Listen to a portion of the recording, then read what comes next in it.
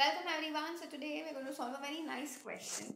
Please understand the answer for this one. A lot of people thought was 2 but that is wrong. Now first very important let's understand how do you figure out a factorial. Whenever you have an exclamation sign ahead of a number that means you need to find the factorial of that number. Now what you how you can do this? You can do this by expanding that number or rather by multiplying that number with the next consecutive number but in the descending order.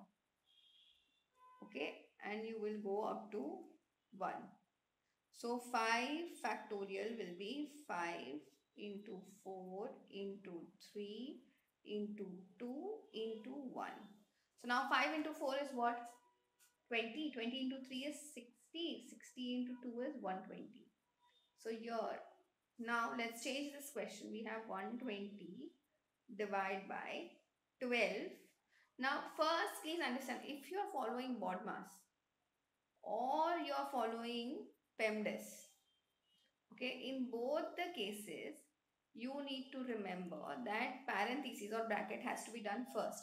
So, here we know the bracket value is 3 plus 2 which is 5. So, and since there is no sign of multiplication between 12 and this bracket, so no sign between, sorry, there's no sign. So, here we will take the sign as what? Multiplication. And then we will write the value of the bracket which is 5.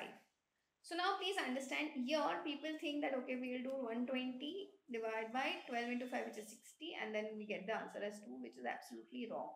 See understand if they wanted you to do this first they would have put another bracket over here but since that is not the case in this case.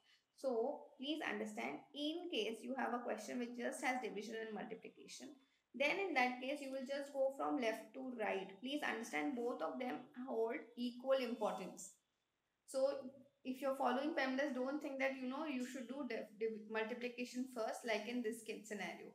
You will go from left to right. So first we'll do 12 divided by 12. Sorry, 120 divided by 12 that is 10 into 5. Answer comes out to be 50.